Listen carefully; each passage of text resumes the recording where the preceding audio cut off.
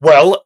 under the terms of the 1997 Good Friday Agreement, which ended uh, 30 years of violence known as the Troubles, Northern Ireland is formally um, a devolved region within the United Kingdom, uh, which means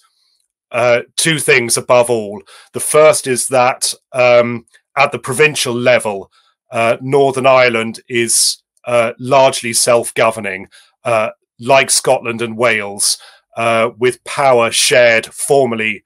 uh, by Catholics and Protestants, uh, the, the former belligerent groups.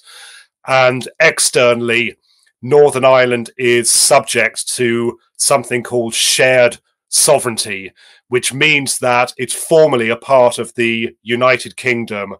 but uh, the Republic of Ireland has a voice in Northern Ireland's internal affairs. Um,